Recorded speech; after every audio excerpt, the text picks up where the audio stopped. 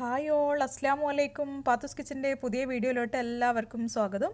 ഇന്നത്തെ recipe chicken കൊണ്ട് നല്ലൊരു കിടിലൻ ടേസ്റ്റി ആയിട്ടുള്ള ഒരു ചിക്കൻ ചുക്കയാണ് കേട്ടോ നമ്മൾ ഹോട്ടലിലൊക്കെ പോയി കഴിക്കുന്ന സെയിം ടേസ്റ്റുള്ള ഒരു ചുക്കയാണ്. അപ്പോൾ അതെങ്ങനെ ഉണ്ടാക്കുന്നത് നോക്കാം. അതിന് വേണ്ടിയിട്ട് ഞാൻ ഇവിടെ ഇതേപോലെ ഒരു പാൻ വെച്ചിട്ടുണ്ട്. ഇതിലേക്ക് ചേർക്കുന്നത് ഒരു സ്പൂണിലെ ജീരകമാണ് ചെറിയ ജീരകം അതേപോലെ ഒരു ചെറിയ പീസ് പട്ട എടുത്തിട്ടുണ്ട്.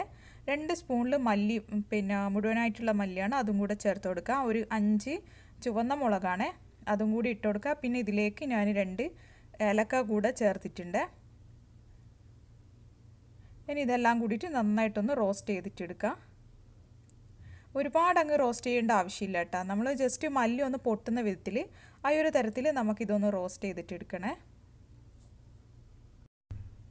അതുപോലെ ഫ്ലെയിം പിന്നെ ഒരു മീഡിയത്തിലിട്ട് വേണം ചെയ്തെടുക്കാൻ. അല്ലെങ്കിൽ പെട്ടെന്ന് തന്നെ മല്ലിയൊക്കെ കരിഞ്ഞു പോകും അപ്പോൾ ഞാനിത് ഒരു സൈഡിലേക്ക് മാറ്റി വെച്ചിട്ടുണ്ട്. അതേ പാനിൽ തന്നെ ഞാനിവിടെ ഇതിലേക്ക് ഒരു ഒരു സ്പൂണിൽ തേങ്ങയാണ് അതും കൂടി ചേർത്തിട്ട് അതും ജസ്റ്റ് ഒന്ന് ഇതേപോലെ ഒന്ന് റോസ്റ്റ് ചെയ്തിട്ട് എടുക്കുക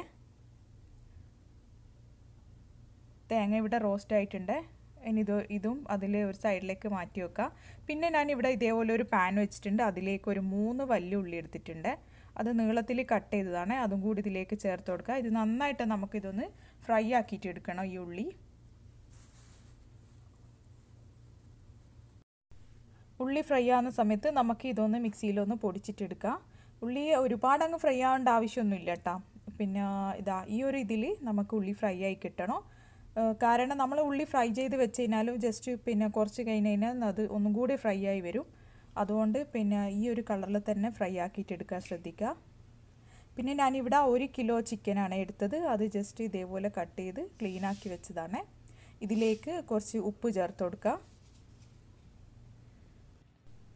പിന്നെ ഇതിലേക്ക് നമ്മൾ നേരത്തെ ഫ്രൈ ആക്കി വെച്ച ഉള്ളിയാണ്. അതും കൂടി ഇതിലേക്ക് ചേർത്ത് കൊടുക്കുക.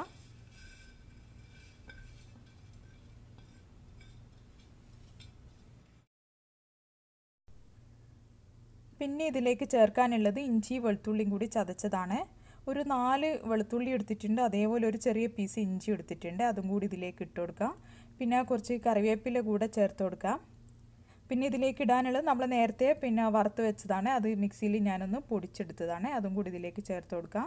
പിന്നെ ഒരു അര സ്പൂണിൽ ഗരം മസാലന്റെ പൊടിയാണ്. അതേപോലെ തന്നെ ഒരു കാൽ സ്പൂണ് മഞ്ഞളുടെ പൊടി എടുത്തിട്ടുണ്ട്. ഒരു സ്പൂണിൽ മുളകിന്റെ പൊടിയും കൂടെ എടുത്തിട്ടുണ്ട്. അതും കൂടി ഇതിലേക്ക് ചേർത്ത് കൊടുക്കാം. എന്നിട്ട് ഇത് കൈകൊണ്ട് നന്നായിട്ടൊന്ന് മിക്സ് ചെയ്തിട്ടെടുക്കാം. പിന്നെ ഇതിലേക്ക് അവസാനമായിട്ട് ഞാൻ കുറച്ച് വെളിച്ചെണ്ണ കൂടെ ചേർത്തിട്ടുണ്ട്. ഇത് വെളിച്ചെണ്ണയിൽ ചെയ്യുമ്പോഴാണ് ടേസ്റ്റ് ഉണ്ടാവാൻ. പിന്നെ അപ്പോൾ ഇതെല്ലാം കൂടിയിട്ട് നന്നായിട്ടൊന്ന് മിക്സ് ചെയ്തിട്ടെടുക്കാം. കൈ കൊണ്ട് തന്നെ നന്നായിട്ട് മിക്സ് ചെയ്തിട്ടെടുക്കണം.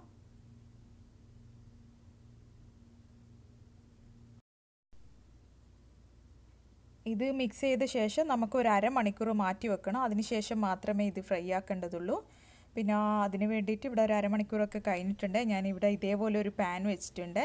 അതിലേക്ക് നമ്മൾ നേരത്തെ മസാല ഒക്കെ തേച്ച് വെച്ച ചിക്കൻ ചേർത്ത് കൊടുക്കാം.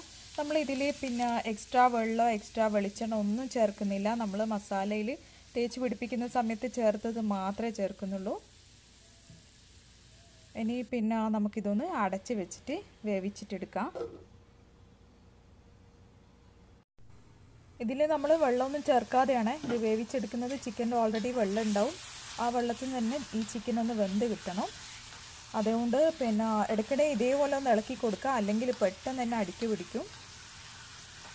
പിന്നെ ഇതിലേക്ക് ചേർക്കാനുള്ളത് ഒരു അര സ്പൂണിൽ കുരുമുളകിന്റെ പൊടിയാണ്. അതും കൂടെ ചേർത്ത് കൊടുക്കാം ഇത് അത്യാവശ്യം എരിവൊക്കെ ഉണ്ടെങ്കിലേ കഴിക്കാൻ ടേസ്റ്റ് ഉണ്ടാവുള്ളൂ. എന്നിട്ട് നന്നായിട്ടൊന്ന് ഇളക്കി കൊടുക്കാം ഇനി നമുക്കിതൊരു അഞ്ച് മിനിറ്റും കൂടി ഇതേപോലെ അടച്ചിട്ട് ലോ ഫ്ലെയിമിൽ വെച്ച് കൊടുക്കാം. മഷാല്ല നമ്മുടെ ചിക്കൻ ചുക്ക ഇവിടെ ഏകദേശം റെഡിയായി വരുന്നുണ്ട്. നല്ലൊരു കിടിലൻ സ്മെൽ തന്നെയാണ്. വെളിച്ചെണ്ണ കറിവേപ്പില അതേപോലെ ഫ്രൈഡ് ഓനിയൻ എല്ലാം കൂടിയിട്ട് നല്ലൊരു സ്മെൽ തന്നെ വരുന്നുണ്ട്. നിങ്ങൾക്ക് കുറച്ച് ഗ്രേവിയോട് കൂടിയിട്ടാണ് ഇത് വേണമെങ്കിൽ ഇപ്പം തന്നെ ഗ്യാസ് ഓഫ് ചെയ്യാം. ഞാനിവിടെ ഒരു പിന്നെ ഡ്രൈ ആയിട്ടുള്ള ഒരു ചുക്കയാണ്. അതുകൊണ്ട് തന്നെ കുറച്ച് രണ്ട് മൂന്ന് മിനിറ്റും കൂടി ഇതേപോലെ ഗ്യാസിൽ വെച്ചിട്ട് ഇളക്കിക്കൊണ്ടിരിക്കുന്നുണ്ട്. പിന്നെ ഇതിലേക്ക് അവസാനമായിട്ട് നമുക്ക് കുറച്ച് കറിവേപ്പില കൂടെ ചേർത്ത് കൊടുക്കാം. നല്ലൊരു സ്മെല്ലും നല്ലൊരു ടേസ്റ്റും ഒക്കെ കിട്ടും. ഇനി ഇത് നമുക്ക് ഒരു പിന്നെ പ്ലേറ്റിലേക്ക് നമുക്ക് മാറ്റി കൊടുക്കാം. അപ്പോൾ ഇന്നത്തെ വീഡിയോ എല്ലാവർക്കും ഇഷ്ടപ്പെട്ടെന്ന് വിചാരിക്കുന്നു. തീർച്ചയായും നിങ്ങൾ എല്ലാവരും ഇത് ഉണ്ടാക്കി നോക്കാം. അപ്പോൾ എന്റെ ചാനൽ ഇതുവരെ സബ്സ്ക്രൈബ് ചെയ്യാത്തവരാണെങ്കിൽ ഒന്ന് സബ്സ്ക്രൈബ് ചെയ്യണേ. അതേപോലെ ഈ വീഡിയോ ഇഷ്ടപ്പെടുകയാണെങ്കിൽ ലൈക്ക് ചെയ്യാനും കമന്റ് ചെയ്യാനൊന്നും മറക്കരുത്. ഇനിയും അടുത്ത വീഡിയോમાં വരുന്നത് വരേക്കും. Bye bye